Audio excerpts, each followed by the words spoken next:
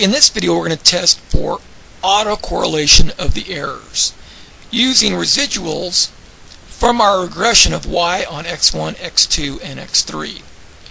In column D I list all 29 residuals. In column E I've squared all 29 residuals.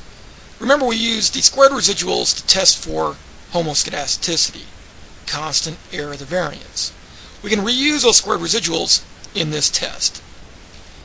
And the test statistic for autocorrelation is called the Durbin-Watson statistic. Again, it involves squaring the residuals and squaring the difference in the residuals. So we're going to first compute the difference and then square that difference. Now obviously we can't compute a difference here because there's nothing before negative 15.428. So there's going to be one fewer squared difference in residuals than squared residuals. And then we compute the second one, which is 18.76, the difference in these two residuals squared. Compute the third one, which is the difference in the fourth and the third. Then we square the difference in the fifth and the fourth residual, etc.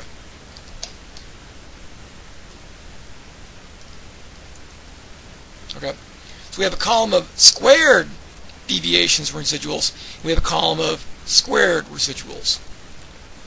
The next step in computing the Durbin-Watson statistic is the sum the squared residuals. Next we sum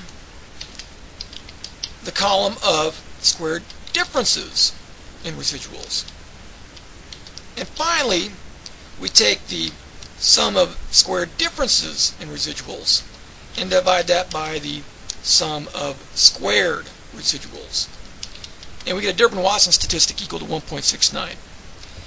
Now, because this number is close to 2, quote unquote close to 2, we can conclude that autocorrelation is not a problem. Now that is more than reasonable in, in the context of this problem because we have cross-sectional data. Meaning we, for a given year, we have information on 20 NBA teams. That's cross-sectional data. Now, if we have time series data, or we have panel data, then we definitely want to test for autocorrelation. In panel data, we have NBA teams for the year, we have observations for NBA teams for the years, say 1995, 1996, 1997, 1998, 1999, 2000, 2001, 2002. In that scenario, it makes sense to test for autocorrelation because bad teams over time generally are bad teams, i.e. LA Clippers. Good teams over time are good teams, LA Lakers. So when we have panel data, multiple years of observations, we definitely want to test for autocorrelation. When we have cross-sectional data and there's no time component, then we're probably going to get a Durbin-Watson statistic equal to 1.69. Okay. Now the ordering of the residuals is very important. The way we order the observations, the way we order the residuals, will determine the value of the Durbin-Watson statistic. For example, I'm going to order the residuals by the predicted values, and the Durbin-Watson statistic will change. I'm going to move this up the top here. I'm going to move it up to the top. I'll put it right here, for example. There's a Durbin-Watson statistic, and again, it's the ratio of the sum of square deviations in the residuals divided by the sum of squared residuals. So I moved it up to the top here. In this, in this particular ordering, in this particular ordering, it's equal to 1.69. But if I change the ordering of the residuals, here I have a kind of a, a random ordering, right? The first team in the data set has a predicted winning percentage of 42%. The second team in the data set has a predicted winning percentage of 53%. The third team has a predicted winning percentage of 33%, etc., etc. So this this data set looks like it's been randomly generated, randomly ordered. I'm going to go ahead and I'm going to pick an ordering. I'm going to order the, order the residuals by the predicted value.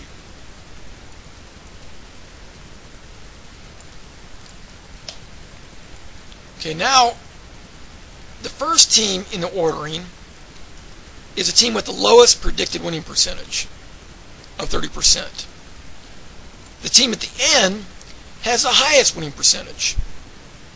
And notice what happens to the Durbin-Watson statistic when I order the residuals by the predicted value. The Durbin-Watson statistic goes to 2.27, which is still close to 2. Okay? So when we have cross-sectional data, generally speaking, the Durbin-Watson statistic, no matter what ordering we use, is going to hover near 2. Now let me make this point more strongly. I'm going to generate a random number for each observation. To generate a random number for each observation, I type equal rand, parenthesis, close parenthesis. And that generates a random number. And I've done that for each of the observations. Okay. Now if I hit F9, every time I hit F9, I get 29 new random numbers. Okay? So, no matter what ordering I use, this Durbin-Watson statistic, because this is cross-sectional data, i.e. there's no time component, is going to hover near 2. So let's try it. So I'm going to order based on these random numbers. Now, as soon as I sort this data, it's going to generate a new set of random numbers. So I'm going to go ahead and sort the data. The Durbin-Watson statistics 1.94. I'm going to sort it again. I'm going to use a different random ordering. Again, the Durbin-Watson statistic changes. Every time I resort the data based on a new set of random numbers, the Durbin-Watson statistic varies. But it, it generally hovers near 2 because again this is cross-sectional data. Occasionally the Durbin-Watson statistic is very very low or very very high. But most of the time the Durbin-Watson statistic is hovering near 2. Here the Durbin-Watson statistic is low, but that's rare. Most of the time it's hovering near 2. Here it's actually equal to 2. Okay.